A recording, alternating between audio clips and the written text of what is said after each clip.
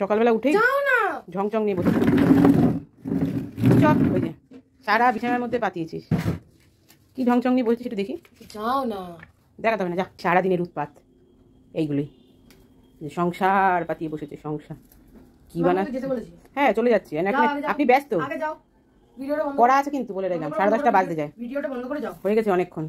আর সময় দেওয়া যাচ্ছে না। কি লেখা দেখি? এই সকাল থেকে যে উৎপাত চলছিল পাখা চলছে তার জন্য হয়তো একটু হেজি শোনা যাবে। এই যে সকাল থেকে যে উৎপাত চলছিল সেই উৎপাতের এই সব কি সব বানিয়েছে দেখো। এইগুলো নিজের হাতে তৈরি করেছে।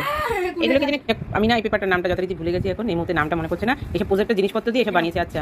এই কি লিখেছে? Happy mother's day my dear আর পড়ব না। পচা ছেলে সারাদিন জ্বালায় উৎপাত করে তার আবার এখন মাদার্স ডে আছে ও এটা হচ্ছে আবার অ্যাডিশনাল গিফট কি দেখি? একটা অ্যাডিশনাল গিফট না দুটো। আচ্ছা আচ্ছা দুটো আচ্ছা এই যে। না ওটা এটা। ওটা এই যে দেখেছ? এটা খুব সুন্দর ইয়াররিং আচ্ছা।